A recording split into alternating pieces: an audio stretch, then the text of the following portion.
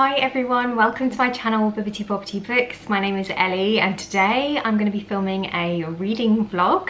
So I haven't filmed a vlog in a while and I thought it would be fun to do it this weekend because I actually have a long weekend off work. I've got Saturday, Sunday, Monday, Tuesday off. So yeah, I'm hoping to get quite a lot of reading done and to do some nice outings and things. So I hope that you enjoy this video. In terms of my reading plans for this weekend, I'm currently reading The Bone Orchard by Sara A. Mueller. Um, I am just over 100 pages into this one and I think I'm enjoying it. I'm a little bit confused about what's going on in the story. There's a whole lot happening.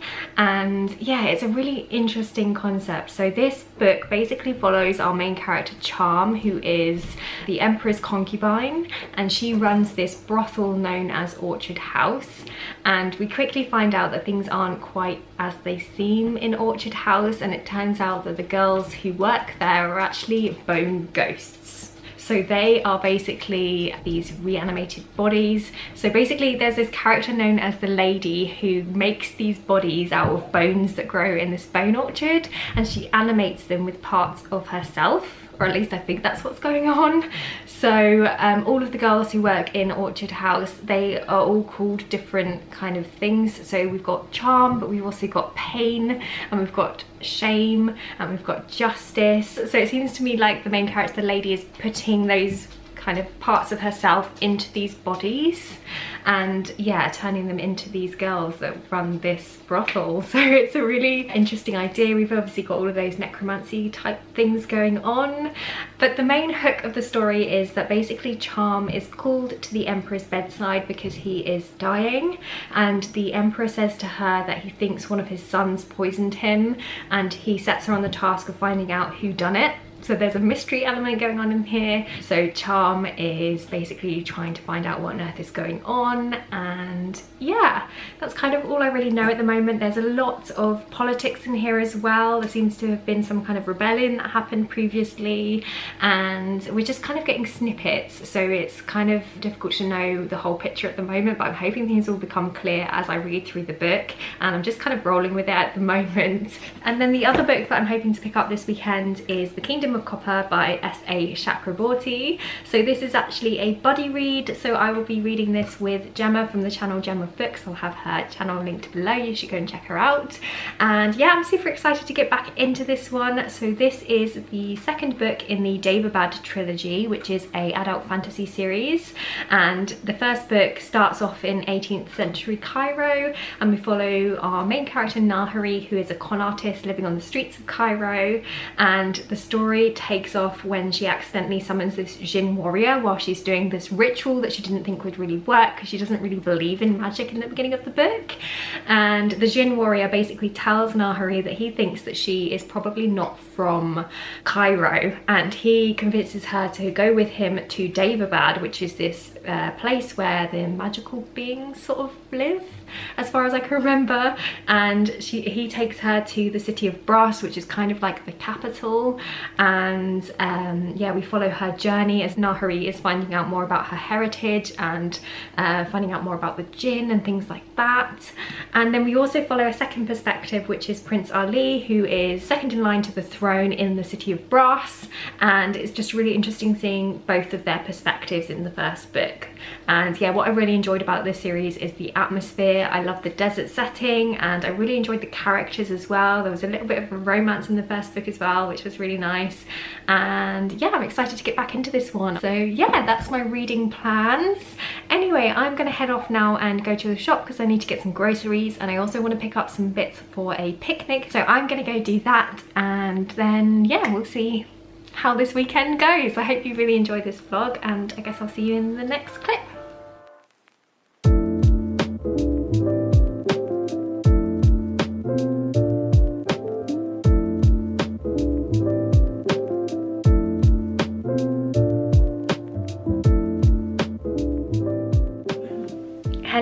So it's Sunday. I didn't really film much at all yesterday. I did a terrible job at vlogging, but to be fair, I got really sidetracked doing this little project that I had in mind. So when I went to the shop yesterday to get groceries, I also ended up picking up some plasticine because I wanted to have a go at making a stop motion intro for my YouTube videos. I had this idea in my mind that it would be a really cute and kind of quirky way to start my videos. So I had a little go at doing that yesterday and let me tell you it's harder than it looks it took me literally all afternoon to make these little models and to animate them and everything and to be honest I think I might have massively overestimated my artistic abilities. it's one of those things where I had this really great idea and then when it comes to actually doing it, um, yeah, I'm not sure if it's going to be usable, but I'll put a little clip in now of what I created.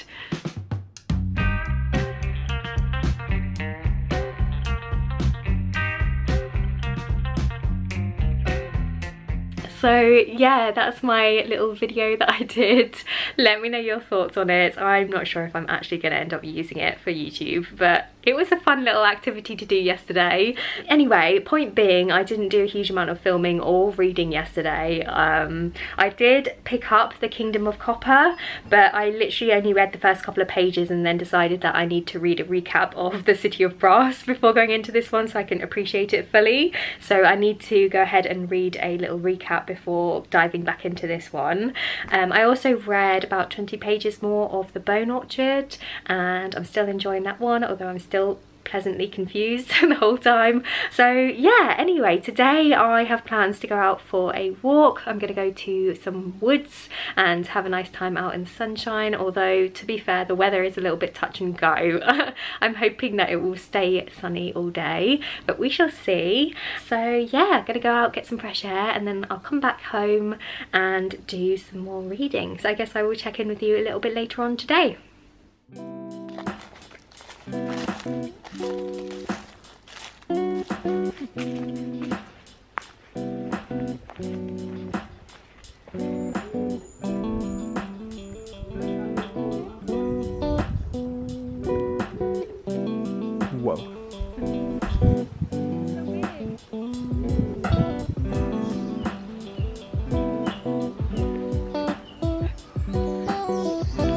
So comfortable relaxing here on my log.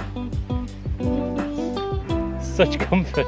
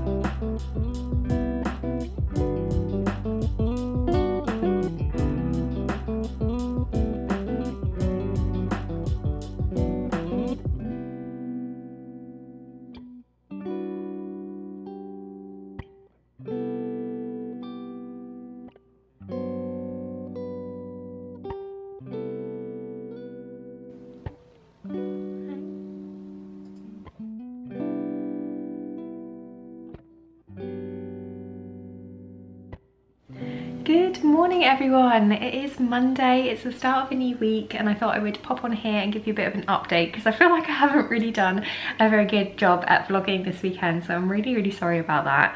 Um, but yesterday I had such a nice day. I went out walking through the woods with my partner and we actually planned on being out for a couple of hours but we ended up being in the forest for way longer than that because we did get a little bit lost.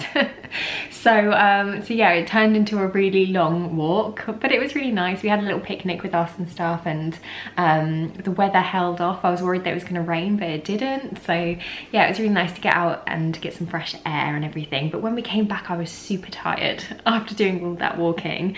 but I did manage to read the first 50 pages of The Kingdom of Copper and I am really enjoying this book. I'm definitely glad that I read a recap of The City of Brass before going into this one because there is quite a lot going on in this world and I had forgotten a lot of the details. Um, but yeah, I'm super enjoying this one. It's really interesting seeing where all of our characters are after the events of the first book because the first book ends with quite a dramatic turn of events.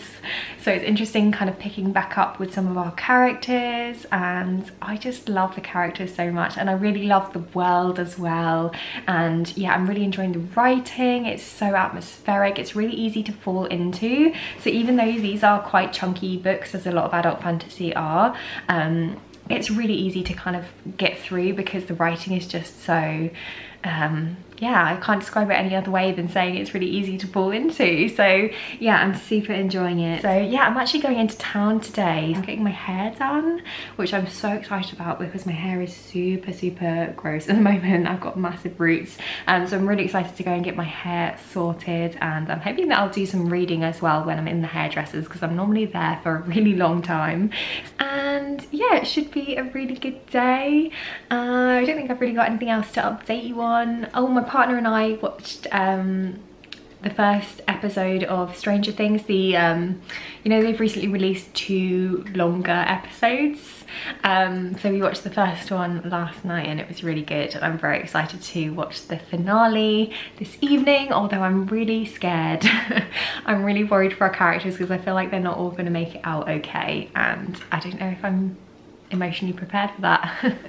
um, I've been trying to stay clear of spoilers and so far I have so yeah I don't know what's to come but um, yeah anyway I am rambling now so I'm gonna go get myself some breakfast and maybe do a little bit of reading before I head into town and yeah I guess I'll speak to you later on.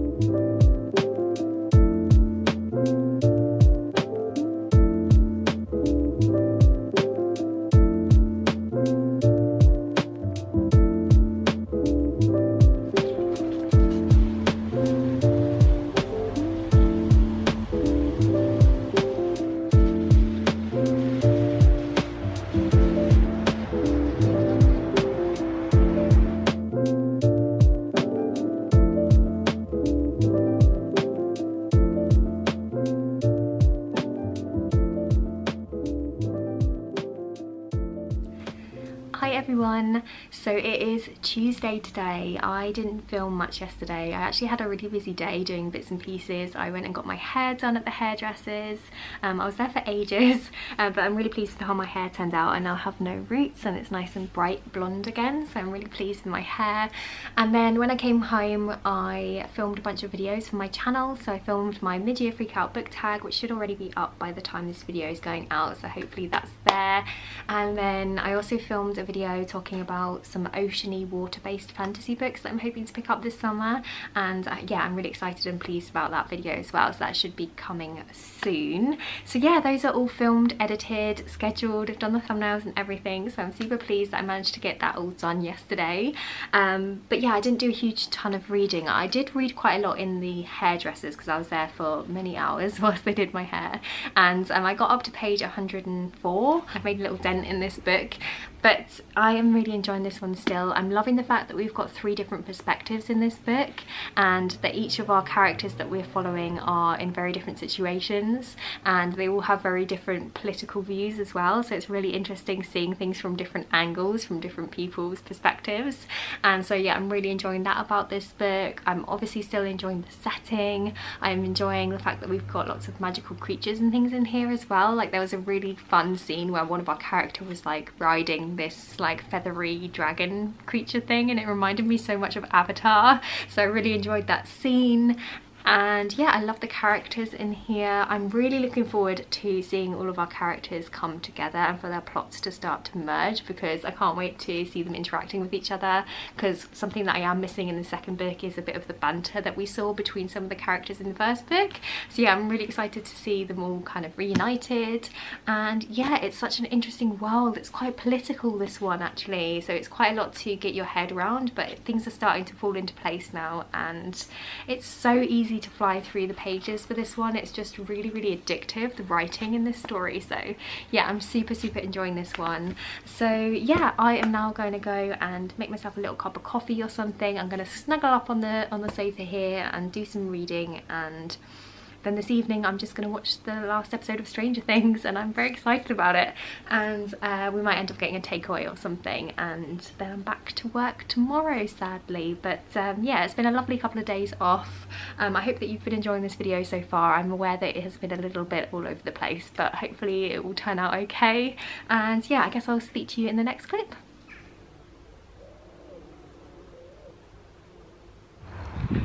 Hey everyone, so it has been a little while since I've checked in with you and yeah I thought I'd better pop on here and just round out this video a little bit. So there has been a little bit of a time that has passed since I last spoke to you but I've done a little bit more reading. Um, so I am now on page 190 of The Kingdom of Copper, which is chapter 11, and I am really enjoying this book. I'm finding it really hard to put down because it is so absorbing. I love the characters in here. I love that we get different perspectives. The political tension in this second book is really ramping up and it is creating quite a bit of drama and I'm here for the journey. So yeah, I'm really, really enjoying this one. And yeah, it's just um, really beautifully written as well. There's some really gorgeous descriptions of the city of Brass and it would just make you want to go there. So yeah, super super enjoying this one. Um, in terms of the Bone Orchard, I haven't read a whole ton of this one. I am up to chapter 15, which is page 158 and I still have mixed opinions about this book. There are definitely things that I enjoy about this. Like I really enjoy the character of Pain. I think she is a great character. She's definitely my favourite. I love reading the bits that she's involved in. But there are also some bits I'm just a little bit confused about and I'm just not 100% sure. I'm hoping that the second half of this book will pick up. But I do definitely like the concept of having these bone ghosts that are basically bits of the same person. So different personalities have been reanimated and and it's really interesting thinking about them um, kind of um, because they've been split and put into their own body they are now essentially their own person and they're creating their own memories and they think of themselves as very much distinct from the original lady that they came from if that makes sense. So it's really interesting. These different bone ghosts each have kind of different memories and different recollections of things. And um, so yeah you're kind of piecing together information about this character called the lady from those other bone ghosts. It's just yeah it's quite interesting. It's a bit of a like mind melty moment though because it's a bit confusing to get your head around everything. Or at least I found it a little bit confusing but um, yeah to be honest I think I would be enjoying this one a lot more if I wasn't reading it at the same time as Kingdom of Copper because I'm definitely enjoying this one a whole lot more than this one. But we shall see. We shall see how it goes. Anyway I'm going to head off now. I really hope that you've enjoyed this video. I hope you're having an amazing day whatever it is you are doing. Thank you so much for watching and supporting my channel. And yeah I guess I'll see you next time with another video. Bye